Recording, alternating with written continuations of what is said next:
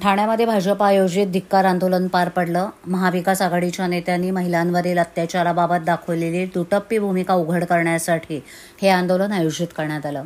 विशेषतः बदलापूर प्रकरणातील लहान मुलींवरील अमानुष अत्याचाराच्या निषेधार्थ हा लढा उभारण्यात आलाय.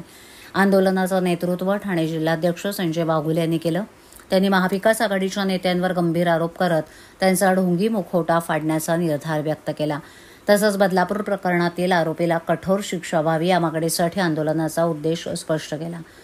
पुण्यश्लोक अहिल्यादेवी होळकर स्मारकाजवळील तलावपाळी येथे सकाळी साडे अकरा वाजता या आंदोलनाची सुरुवात झाली.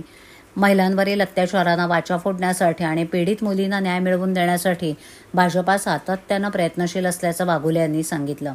या आंदोलनामुळे प्रशासनावर दबाव वाढेल आणि पीडितांना लवकर न्याय मिळेल अशी अपेक्षा व्यक्त करण्यात येते आहे